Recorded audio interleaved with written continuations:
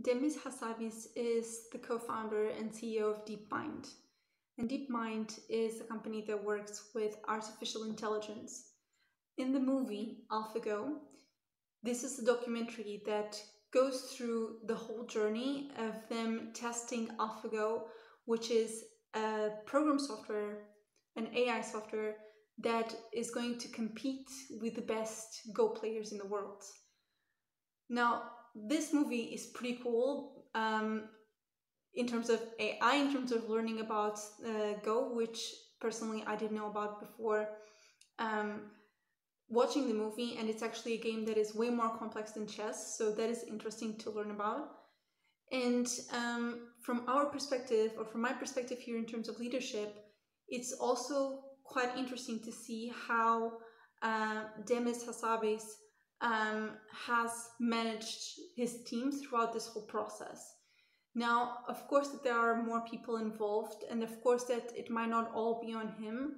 Since he is the CEO of the company, I will take him as an, as an example for all of the things that you can see throughout the movie that are good examples in terms of good leadership practices.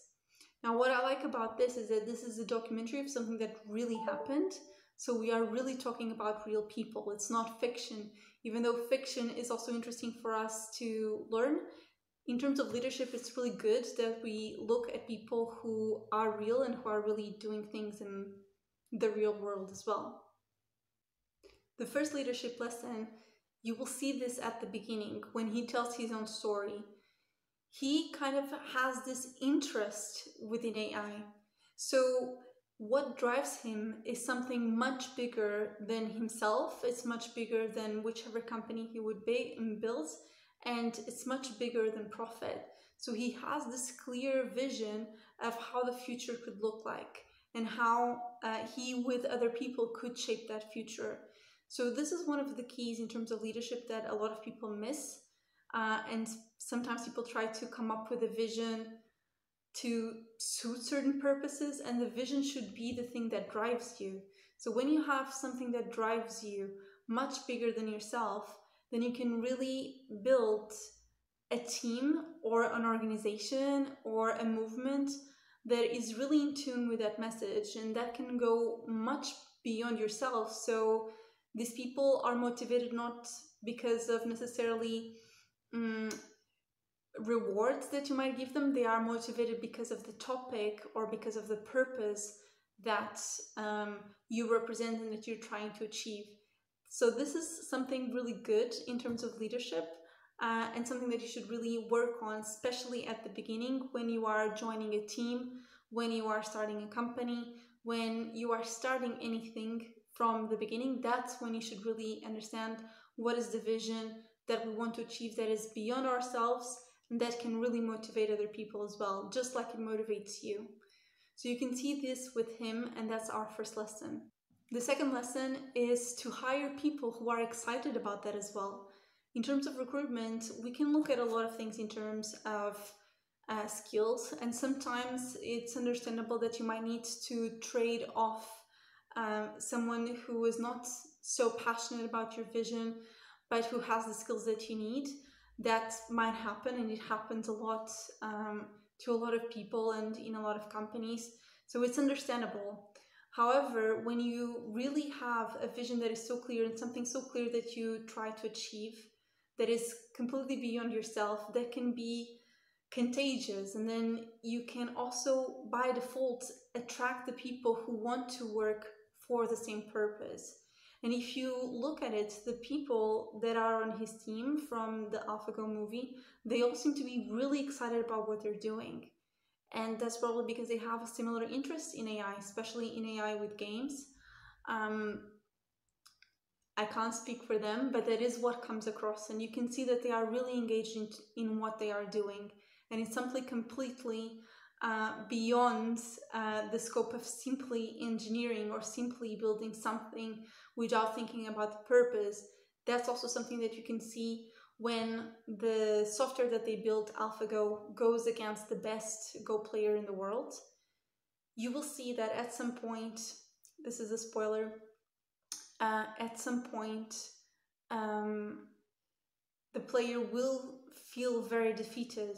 He will be losing a couple of games and he will feel very defeated.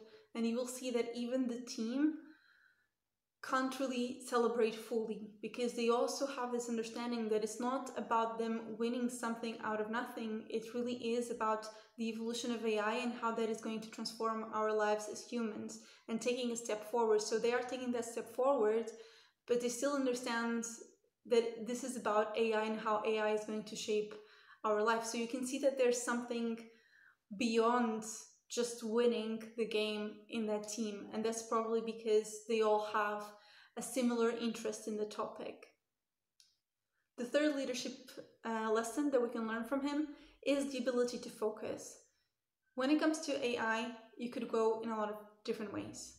And even within the realm of games, you could go in a lot of different ways. They chose to work on AlphaGo, a, a program that is um, supposed to play Go and to beat humans at playing Go, and that's uh, what happens eventually. Um, and from all the options, they chose one, and they completely focus on that one. So if you think about the whole scope of AI, you can do a million different things.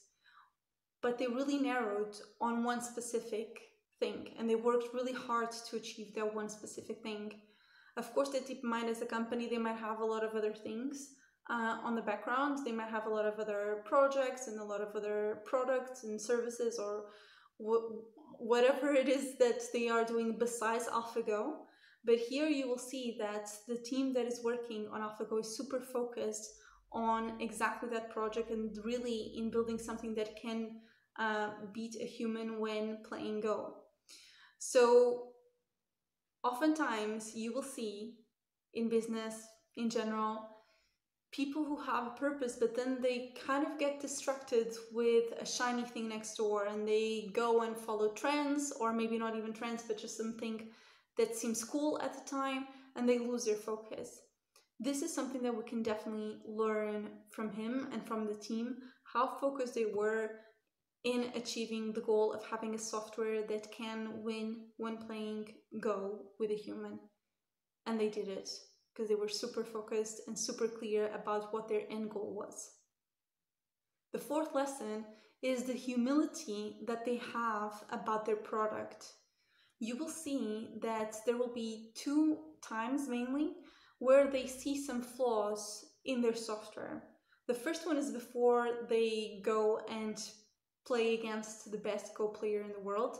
So they actually hire uh, another Go player to play with their system and to really identify weak points. And they have the humility to accept that what they have done isn't perfect and uh, take that as learning points.